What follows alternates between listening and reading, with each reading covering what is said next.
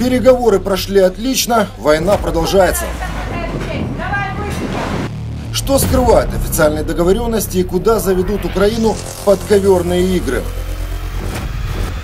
13 февраля только на 17 канале Киев говорит с Донецком. Смотрите в 18.30. Чего ждут от минских переговоров мирные жители и люди с оружием в руках.